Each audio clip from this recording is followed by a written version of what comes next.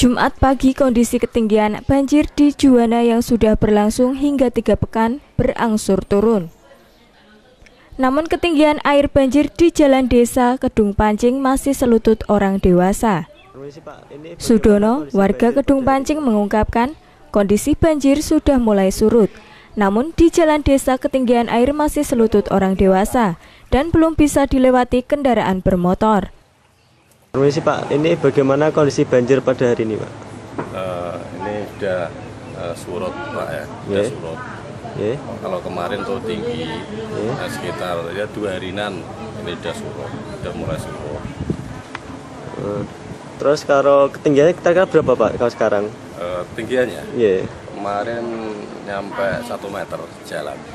Tapi kalau depan rumah udah dalam satu setengah ya satu antara satu sampai satu setengah itu di depan depan rumah tapi kalau di jalan raya ya satu meteran Hingga Jumat pagi, warga masih menjalani aktivitas seperti biasa meskipun dengan kondisi banjir.